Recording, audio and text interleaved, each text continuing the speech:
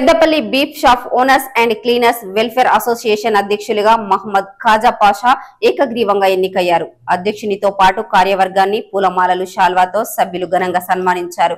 అలాగే పలువురు ప్రముఖులు నూతన కార్యవర్గాన్ని అభినందించారు. పెద్దపల్లి పట్టణంలోని మూన్ ఫంక్షన్ హాల్లో శుక్రవారం Peddapalli beef shop owners and workers labour association సమావేశం జరిగింది.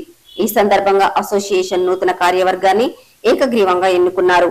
అధ్యక్షులుగా మొహమ్మద్ ఖాజా పాషా ఉపాధ్యక్షులుగా ఎండి అబ్దుల్ నబీ ప్రధాన కార్యదర్శిగా మొహమ్మద్ రియాజ్ సహాయ కార్యదర్శిగా మొహమ్మద్ ఖాజా కోశాధికారిగా షేక్ వజీర్ అహ్మద్ కార్యవర్గ సభ్యులుగా మహ్మద్ అజ్మీర్ మహ్మద్ షబానా ఏకగ్రీవంగా ఎన్నికయ్యారు.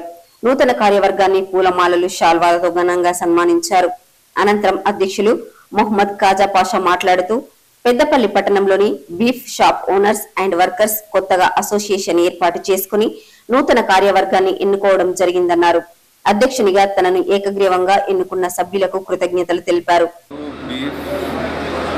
Owner and worker welfare association చేయడం జరిగింది. కావున మా అందరకు చాలా సంతోషకరమైన విషయము.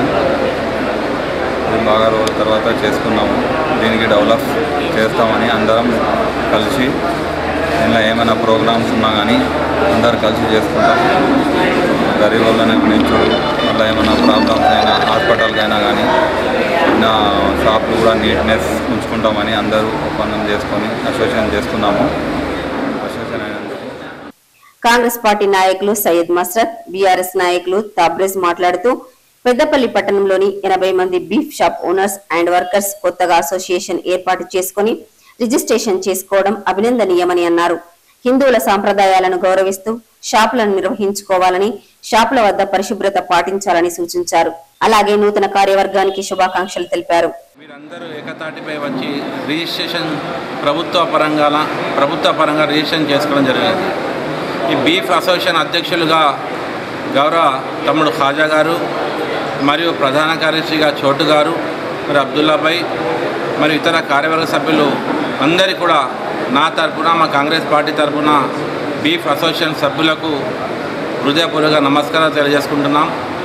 ముఖ్యంగా బీఫ్ సభ్యులకు ఒకటే నేను కోరడం జరిగినది బీఫ్ మాంసం షాపులో ఏదైతే మనం పూజిస్తామో ఒక గోవును కట్ చేయవద్దని దానికి దూరంగా పెట్టి మీ వ్యాపారం చేసుకోవాల్సిందిగా మేము వారికి సవివనంగా విన్నవించుకున్నాం. మరి వారి వారి షాపులో కూడా ముఖ్యంగా శానిటేషన్ కానీ ముఖ్యంగా క్లీన్గా ఉండవలసిందిగా వారికి మేము కోరడం జరిగినది. అలాగే వాళ్ళు మా దృష్టికి ఏంటంటే బీఫ్ మాంసానికి షాప్ లైసెన్స్లు కొద్దిగా ఇబ్బందికరంగా ఉన్నది.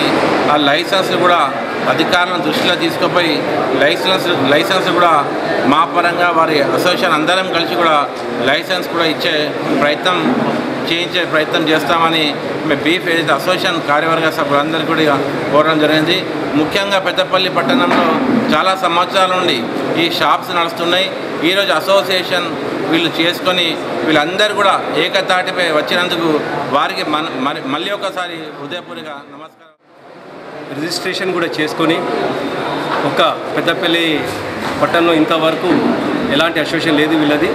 రిజిస్ట్రేషన్ చేసుకొని అసోసియేషన్ ఏర్పాటు చేసిన ఏర్పాటు చేస్తున్నటువంటి ఈ అధ్యక్షులుగా నూతనంగా ఏర్పడినటువంటి ఖాజాబాయి గారికి అలాగే మిగతా సభ్యులకు మరియు దాని యొక్క ఎనభై మంది ఉన్న ఈ యొక్క పాలక వర్గానికి మేము మనస్ఫూర్తిగా అభినందన తెలియజేసుకుంటూ రానున్న రోజుల్లో మీరు కూడా ఇటు ప్రజలకు మరియు పోలీస్ వ్యవస్థకు అదేవిధంగా మీ యొక్క అసోసియేషన్కి ఒక సమకాలికులుగా ఉండి మీరు చేసే కార్యక్రమాలు మీరు చేసే సోషల్ సర్వే యాక్టివిటీస్ కూడా ప్రజలలో చాలా మంచి పేరు తీసుకురావాలని అలాగే మా హిందూ సోదరులు పవిత్రంగా భావించే ఆవును సైతం మీరు వెదచే ఎలాంటి వాళ్ళను ఆ ఆవును వధించడం కానీ హింసించడం కానీ చేయకూడదు. ఎందుకంటే ప్రతి సమాజంలో అందరికీ జీవించే అధికారం ఉంది. కాబట్టి వాళ్ళ యొక్క సాంప్రదాయాలను మరియు వాళ్ళని గౌరవించే పవిత్రతను కూడా గౌరవించే మనసు కూడా మన దగ్గర ఉండాలి కాబట్టి మీరు ఇలాంటి చర్యలు చేసుకోకుండా మీ యొక్క షాప్స్ను కంటిన్యూ చేసుకోవాలని దీని యొక్క ఎలాంటి సహాయ సహకారాలు కావాలన్నా కూడా పెద్దపల్లి పట్టణంలో అలాగే వేరే వేరే పార్టీలో ఉన్నటువంటి నాయకులు కానీ మరియు వివిధ హోదాలు ఉన్న వారు మీకు సహక సహకారాలు చేస్తారని ఈ సభాముఖంగా తెలియజేసుకుంటూ ఈ అవకాశాలను నాకు బాగా కల్పించినటువంటి ఈ బీఫ్ వెల్ఫేర్ అసోసియేషన్ వారికి